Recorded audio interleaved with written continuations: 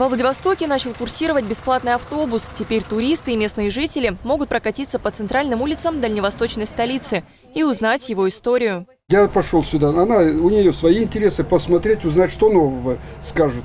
А у меня свой интерес, допустим. Я хочу узнать, почему площадь борцам за власть Советов на Дальнем Востоке стала называться площадь революции. Ответы на эти и другие вопросы обязательно появятся. Сейчас этот запуск стартовый. Нужно понять, чего не хватает на маршруте. На данный момент это истории про период Владивостока э, в период Порты-Франко, э, истории про Лиутскую, э, Миллионку, создание и строительство ЖД вокзала.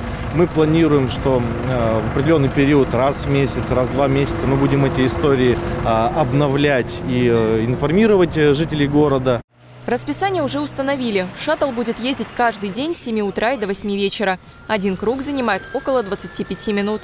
Ну, правда, наверное, за такой короткий промежуток немного услышишь, да? Маршрут выбрали несложный, но интересный. Шаттл стартует от парковки на железнодорожном вокзале по историческим улицам Алиутская и Светланская.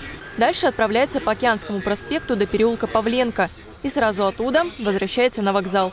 Всего семь остановок. Этого времени хватит, чтобы узнать о Владивостоке что-то новое.